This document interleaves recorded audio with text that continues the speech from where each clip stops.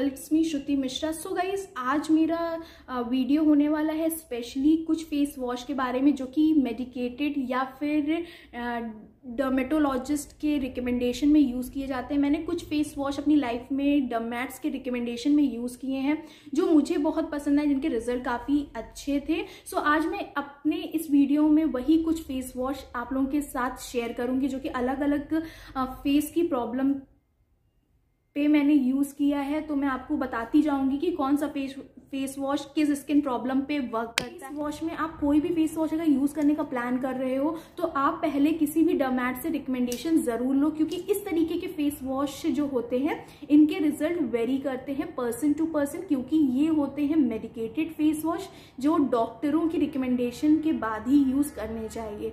मैंने, बहुत लोगों ने मुझसे पूछा कि मैं क्या यूज़ करती हूँ, मैंने किस प्रॉब्लम में क्या यूज़ किया तो मैंने इसलिए ये वीडियो बनाया है आपको नॉलेज के लिए। तो आप इसको बिल्कुल देख सकते हो एंड तक।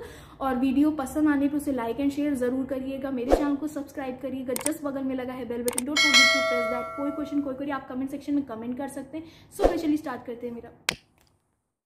सो गाइज़ ये फ़र्स्ट फेस वॉश है, हमारा डर्माट्यू का face wash sulphate free H and H brand से है गाइज़ इसका सोप भी आता है, जो कि अलग अलग स्किन इशू पे स्किन लाइटनिंग और हमारा एक्ने पिंपल्स के लिए। और ये फेस वॉश स्पेशली वर्क करता है पिंपल्स एक्ने के लिए स्पेशली ऑयली स्किन के लिए है। मुझे डर्मैट ने रिकमेंड किया था, जब मुझे एक्ने और पिंपल्स की प्रॉब्लम थी तब मैंने इसको यूज़ किया था। अब मैं इसको यूज़ नहीं करती हूँ क्योंकि अब मुझे ज़रूरत नहीं है, लेकिन अगर आपको पिंपल्स एक्ने की प्रॉब्लम है तो आप किसी फिजिशियन से रिकमेंडेशन लेके डमैट से रिकमेंडेशन लेके आप इसको यूज़ कर सकते हैं। इन टाइप के फेस वॉश को यूज़ करने से पहले डॉक्टर से सलाह ज़रूर लेनी चाहिए, क्योंकि जब डॉक्टर आपकी स्किन को ज़्यादा अच्छे से समझते हैं, उसके अकॉर्डिंग ही वो इस चीज़ को रिकमेंड करते हैं।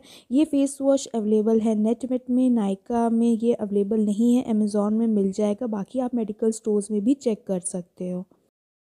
बाकी इसका रिव्यू एंड डेमो वीडियो आपको मेरे चैनल पे मिल जाएगा, अलग से उसमें मैंने यूज़ करने का तरीका भी बताया नाउ गाइज़ ये है हमारा अजंता ब्रांड से gorgeous face cleansing gel guys ये फेस वॉश स्पेशली है ऑयली स्किन के लिए ची ट्री ऑयल इसमें मिक्स किया गया है जो कि एक्ने और पिंपल्स को कंट्रोल करता है। ये भी फेस वॉश ऑयली स्किन पे वर्क करता है। मेडिकल शॉप में अवेलेबल है या फिर आप इसको नेटमेट से भी परचेज़ कर सकते हो। ये आपके ऑयल को रिमूव कर देगा। स्किन के जो एक्सेस ऑयल होता है उसको रिमूव कर देता है और स्किन को ऑयल फ्री बनाता है, आपके ऑयल को कंट्रोल करता है। बहुत ही अच्छा ये जेल बेस्ड फेस वॉश है। फ्रेगनेंस बहुत अच्छी है, बहुत ही जेंटल भी है, उतना हार्श नहीं है स्किन में। एंड गाइज़ इस फेस वॉश को यूज़ किए हुए मुझे काफ़ी टाइम हो गया इस वजह से ये फेस वॉश अब मेरे पास है नहीं। इसकी बहुत पुराना स्नैप पड़ा हुआ है इसलिए मैंने यूज़ किया है इसको। बाकी इसका रिव्यू मैंने पह, बहुत पहले किया था अपने चैनल पे तो आप चेक ज़रूर कर सकते हैं in case you want rich feel natural calendula anti acne face wash इसका भी सोप अलग से आता है इवन क्रीम भी अवेलेबल है। ये भी सोप जो फेस वॉश है सॉरी ये भी थोड़ा सा मेडिकेटेड साइड है मतलब कि हर्बल इंग्रेडिएंट से नहीं बना हुआ है। कैलेंडुला इसमें मिक्स किया गया है, जो कि हमारे एक्ने और पिंपल्स पे स्पेशली वर्क करता है। स्किन को ग्लो इफ़ेक्ट देता है स्किन को क्लियर करता है एक्ने पिंपल्स पे भी वर्क करता है, बहुत अच्छे से ये टारगेट करता है आपके जो एक्ने और पिंपल्स होते हैं, उस पर ये ईज़िली अवेलेबल है नायका में अमेज़ोन में और नेटमेड में। एंड गाइस ये फेस वॉश जल्दीज फेस वॉश है। बाकी रिव्यू एंड डेमो वीडियो आपको मेरे चैनल पे मिल जाएगा, जिसमें मैंने इसको यूज़ करके भी बताया है। तो उसका लिंक आपको मेरे डिस्क्रिप्शन बॉक्स में या फिर मेरे स्क्रीन में मिल जाएगा। डेफिनेटली आप इसको चेक कर सकते हैं। नेक्स्ट है गाइस एक्नेरिक्स फेस वॉश इसका सोप भी अवेलेबल है। Aloe vera shea butter and allantoin के साथ ये फेस वॉश आता है। ईज़िली अवेलेबल है नेटमेट में या फिर आप इसको चेक कर सकते हैं मेडिकल शॉप में। एक्नरेक्स का आपको सो भी मिल जाएगा। आप जो भी पसंद करें, आप वो यूज़ कर सकते हैं।